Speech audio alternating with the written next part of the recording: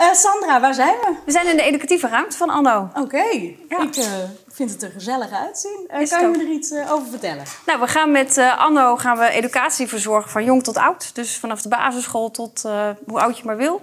En daar gaan we de verhalen van Zolle gaan vertellen.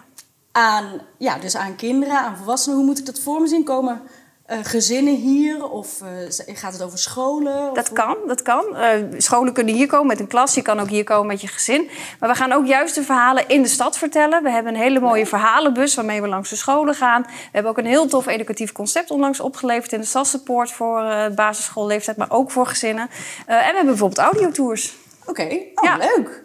En hoe, wat is dat inhoudelijk? Hoe, waar, waar, waar, wat leer je dan als, nou ja, als kind of volwassene? Ja, we hebben natuurlijk eh, heel veel collecties in Anno. Ja. We hebben de collecties van eh, collectie Overijssel, de archiefcollecties. We hebben de archeologische en bouwhistorische collecties van eh, erfgoed, van de afdeling erfgoed. Ja. En we hebben de stadscollectie die allemaal Zolle presenteert. En dat zijn allemaal verhalen die we gaan brengen aan iedereen. Wauw, jeetje. En dus aan de hand van... eh, hier, ik zie allemaal hier... eh, een- Ja, dit is. Onna. Onna is eh, ons figuurtje voor de jongste kinderen. Ja? En we hebben een heel mooi prentenboek over hem gemaakt... waarin die Zwolle gaat ontdekken. En daarmee gaan we ook langs de scholen om het verhaal van Onna te vertellen.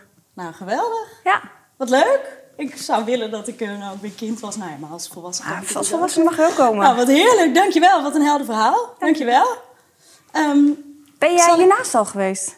Is er nog een ruimte? Er zijn nog meer ruimtes. Jeetje. Ja, ja. Oké, eh, nou, dan ga, ik, dan ga ik snel door. ja ik eh, zou gewoon even gaan kijken als Sandra, ik jou was. dankjewel. Ja, Doei. tot ziens.